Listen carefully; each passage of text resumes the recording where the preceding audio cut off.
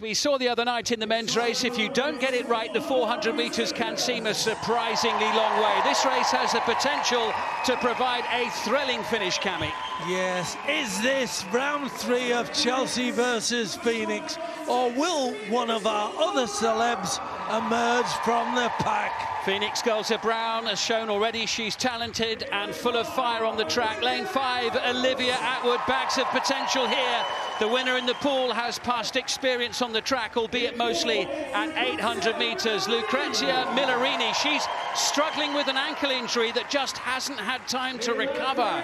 In lane three, Chelcee Grimes, a real contender, has to remember not to overcook it in the first 150 metres.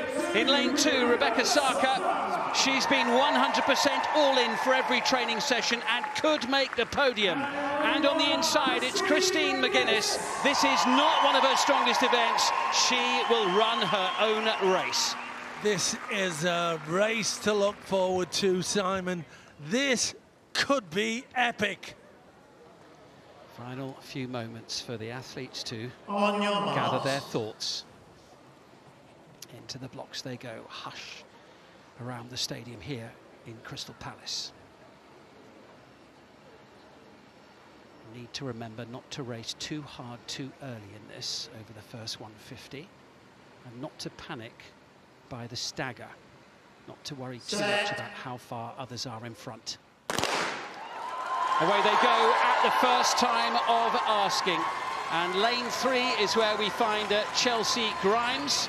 And Chelcee already is gaining on Lucrezia Millarini.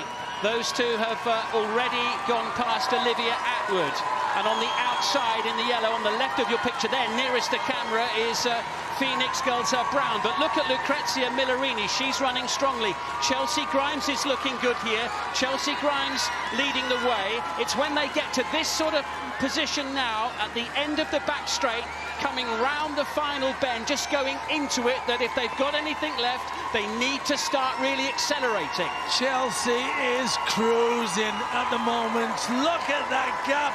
Look at that distance between her and the rest of the pack. This is really impressive from Chelcee Grimes. She didn't get the verdict in a photo finish for third place yesterday. It's all about first place today. She won't be needing a photo finish for this one. She's got time to look around and enjoy the moment. Chelcee Grimes takes the victory.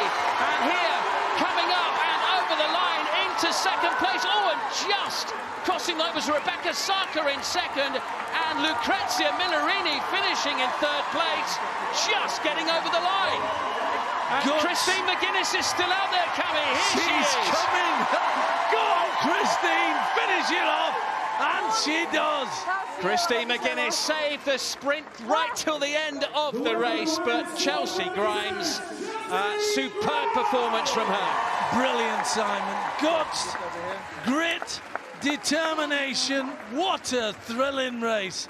Fearless. That's what she was. Look at her, Chelcee, digging in.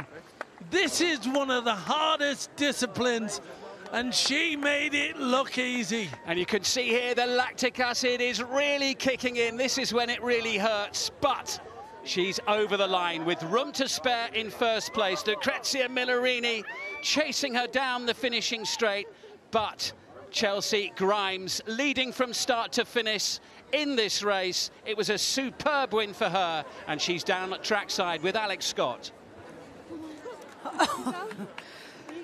Chelcee, absolutely amazing. Rebecca, you cannot even believe it that you come second. I can't believe it. I'm all You know what I think it was? I think it was the, the incentive was the forfeit for not finishing was another 50 metres in the in the pool. Take it all in. You absolutely smashed it. How are you mm-hmm. feeling? You said you were in the zone. Yeah, I think after last night's event, that was still buzzing away at me. So it gave me the extra pace. And I, I was thinking about my family. That's the whole thing I thought about. Just do it for your family. Girl. Absolutely incredible. What amazing race. Let's go over to Cami and Simon and look at the results. Incredible. Well, the coaches were a little bit concerned that maybe Chelcee Grimes might go out too hard too quickly because she was so desperate to win, but she measured her effort beautifully to take the six points. One minute, 6.76 seconds the winning time. A brilliant five points for Rebecca Sarker. Lucrezia Millarini rounding out the podium, followed by Phoenix Gulzar-Brown, Olivia Attwood, and Christine McGuinness with one point.